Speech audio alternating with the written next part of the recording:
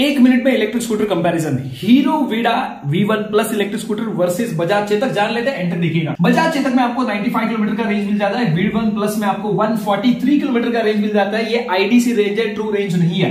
अगर ये top speed की तो बजाज में 63 का मिल जाता है हीरो वीडा V1 प्लस में 80 का टॉप स्पीड मिल जाता है, यहाँ पे भी V1 बेटर है। बात करें बैटरी की तो लगभग दोनों का सेम बैटरी कैपेसिटी है बट सेम बैटरी कैपेसिटी होके भी V1 प्लस आपको ज़्यादा अच्छे तरीके से रेंज दे रहा है। इसमें जो बीएमएस है, इसमें जो मैनेजमेंट है, वो ज़्यादा अच्छी तरीके से हो रहा है। इसमें आपको तीन किलो आवर का बैटरी पैक है, इसमें भी तीन है बट रेंज देखिए 143 आईडीसी रेंज है वीडा वी प्लस की, और बजाज जितने की 95 है। मोटर की बात करें तो six kilo six kilo peak और फोर किलो पिक दोनों इलेक्ट्रिक स्कूटर वाटर प्रूफ है। हीरो हीरो वीडा वी प्लस ज़्यादा अच्छी आईपी सिक्सटी एट या आईपी सिक्सटी सेवन है। बूट स्पेस की बात करें तो 26 है वीडा 18 है बजाज चेतक और प्राइस आपके सामने दिख रहा है दोनों डेढ़ लाख के करीब है। Please like to share subscribe